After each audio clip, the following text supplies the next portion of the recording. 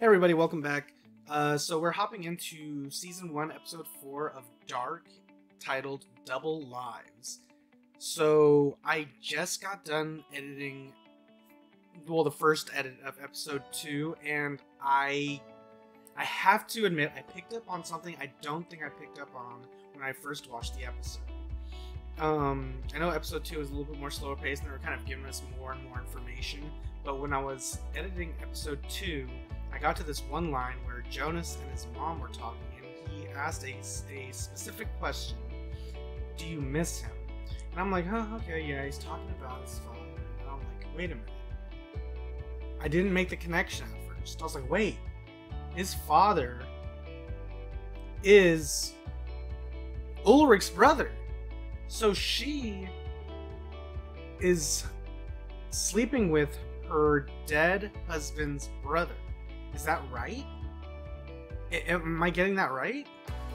So I'm like, okay, that gives us a whole nother level to why I'm just not not connecting with her character, and I just don't feel any sympathy for her. She's just, mm, I don't know. I, I just, all right. So that that's that. And episode two actually kind of gave us a lot of information. I know episode three was probably my favorite of the season so far. But when I did my first edit of episode two, there was just a whole lot of information that I just probably missed the first time, or at least when I saw it, saw it again for the second time, like cutting stuff, cutting, cutting it up, trying to get YouTube edit going. But things started like connecting in my brain, and I was like, okay, okay, okay, okay, okay. So now I feel like I have a better understanding of what's going on or who's connected to who, what's connected to what. I'm I'm now way more intrigued going into this episode. Now I did not do and I'm telling you I've been taking notes. For those who don't believe me. This is from episode 1 and I have two well it's front and back.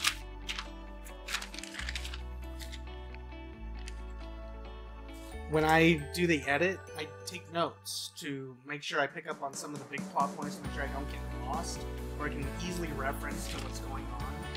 But yeah, so I have detailed notes on episodes one and two. I didn't do three yet, but I remember really liking three. So now, with a better painting in my head of what's going on, the first two Foundation episodes, one and two, I'm now way more intrigued to start episode 4, Double Lives. I know last episode, Mikkel is still stuck in the past, and like I said before, because uh, episode 2 is now fresh in my mind, I don't exactly remember all the details to episode 3, but I hope we kind of get back into the story of um, hopefully someone finds Eric's body. Um, we kind of figure out what's going on with his father. I know in episode 2 they kind of they revealed that he was hiding drugs or something that he and his son were selling to, to kids in school.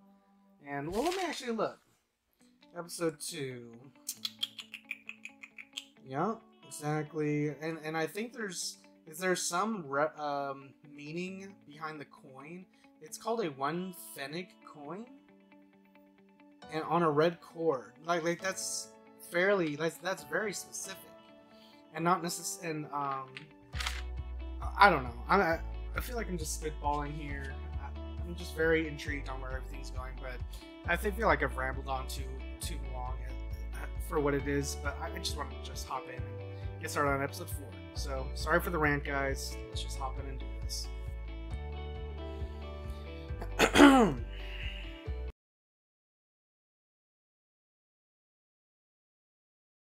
Schwarze Löcher gelten als die Höllenschlunde des Universums. Mit den Dingen auch Raum und Zeit? Tick-Tack. Tick-Tack.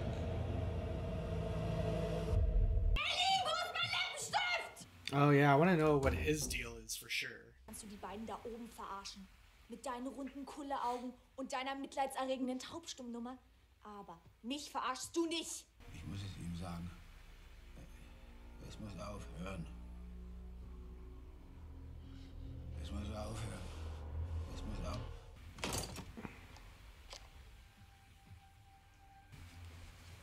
Nachnamen. Das ist ein gewaltiger Unterschied.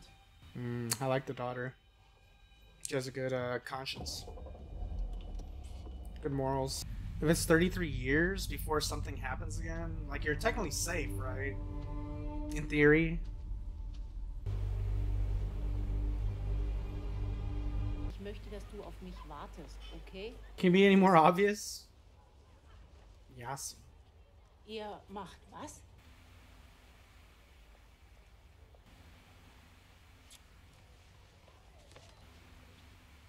Oh, that's Dieser cute. Roman ist in zwei entgegengesetzte Richtungen. Es gibt zahlreiche Stellen, da verweist der Roman auf später stattfindende Ereignisse. Diese Flecken auf dem Gefieder habe ich schon mal gesehen. Yeah, 33 Vor years 33 ago. Jahren. Wow. Als wäre das alles schon mal passiert. Glitch in the Matrix. Hm. Almost got me. Wegen der roten Erde. Wir finden keine. Auch im näheren Umkreis der Fundstelle ist nirgendwo rote Erde. Die muss also vom Tatort stammen. I'm trying to remember who the guy with the eye patch is. Is he just unnamed guy for now? What's her name? I feel like I I know it, but I just don't recall.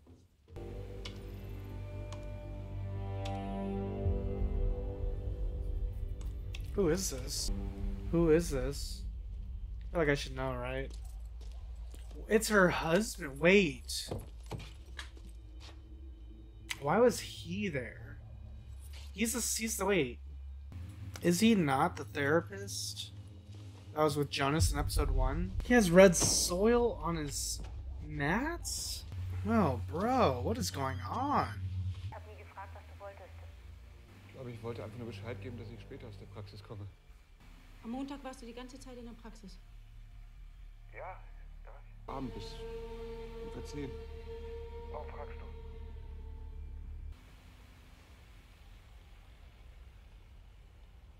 I feel like he could have done this without going to her class and sitting behind her, right? Did he want her to know that he's following her? Because otherwise, why is he hiding? Who's this? It's not Jurgen.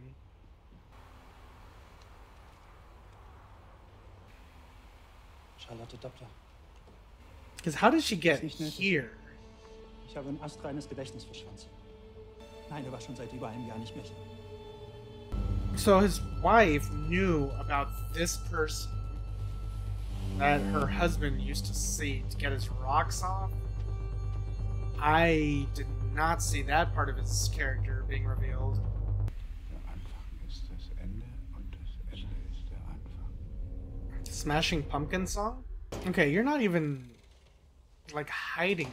You're like just so closely following her behind. She's clearly she knows, right? She has to know.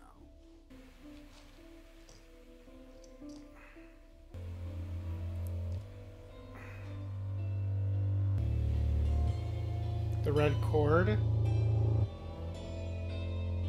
Is it the same type of cord where the the coin? That's not her. Wow, she looks so different.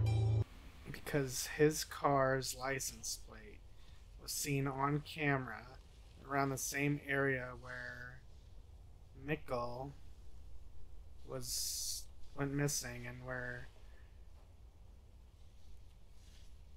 the red soil was found on the body. And she traced it here. So what is this place? There's Ja. Wir reden hier von Spannung im Radiowellenbereich. Eher Elektrogeräte. Und die weiße Maserung am Gefieder? Diese weißen Flecken. Nach Tschernobyl sind die vermehrt aufgetreten, eine Form von Mutation.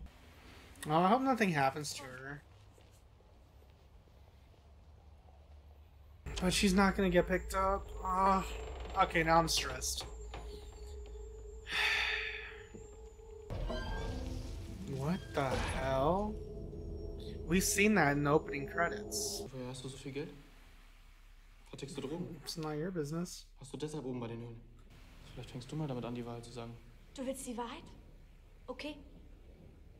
Meine Eltern schlafen seit einem Jahr in getrennten Betten. Meine Mutter hat rausgefunden, dass mein Vater in Wirklichkeit auf Schwänze steht. Die Ehe ist kaputt und niemand spricht es aus, dass man nicht mehr atmen kann. Jesus. We saw this coming, right? I low key kind of like this pairing. Okay. I think I do it right here. No. Aren't your classmates in the other room? Bitte Elisabeth aus der Schule abholen, ich schaff's nicht. Ich muss ins AKW. Okay, ich, ich hol. This sucks. Nothing better happened to her. I'm gonna be really upset. She did take the lipstick. Jesus. Wait a minute. What they said last episodes. It takes something with the, with the red lipstick, right? Hope she didn't just mark herself. The last time he went out, something happened. Oh, she's walking by herself. Raider. That's what Ulrich's mom said. She said she found by the caves. It was Mads' favorite candy bar or something, right? Okay, things are really picking up really fast right now. She's got. No, why would she? Ulrich? It's Ulrich, isn't it? He trespassed. Yeah, that's what I thought. Well, you only feel that way when you feel guilty about something. It's her husband saying that Elizabeth is gone or Ellie is gone. She's not gonna. Elisabeth war nicht da. Wie, sie war nicht da? Sie war nicht bei der Schule. I know mom is stressed with all the disappearing kids and all, but she really should have been paying attention to her own. I'm pissed. That better not be it. Okay, good.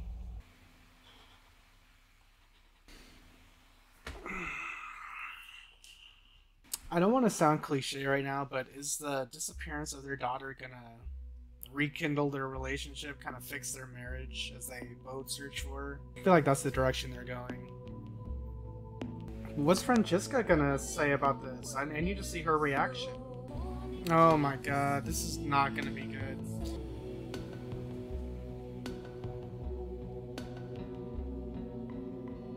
Uh oh.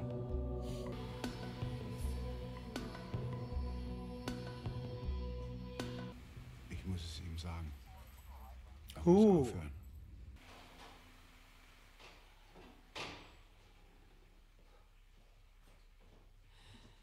Wait, Wo warst du denn? I'm relieved, but. Who? Ich will wissen, wer dir das geschenkt hat. Noah? Wer ist Noah? Aw, sisters. She gonna is she gonna say I took your lipstick? Sheena, ah, Finger weg von meinen Sachen. back to normal. Hat Helge im Wald gefunden. For Charlotte. Wir sind auf der Suche nach dem Ariadne-Faden, der uns den richtigen Weg weisen soll. Wie gerne würden wir unser Schicksal kennen. Wohin es uns führt. Wahrheit ist, es gibt nur einen Weg durch alle One Zeiten. path through all times. Er muss aufhören. Du musst ihn stoppen. Who? Noah. No, not her little friend. Yasin, right? Don't be distracted. Be aware of your surroundings, please. Jeez, that scares me.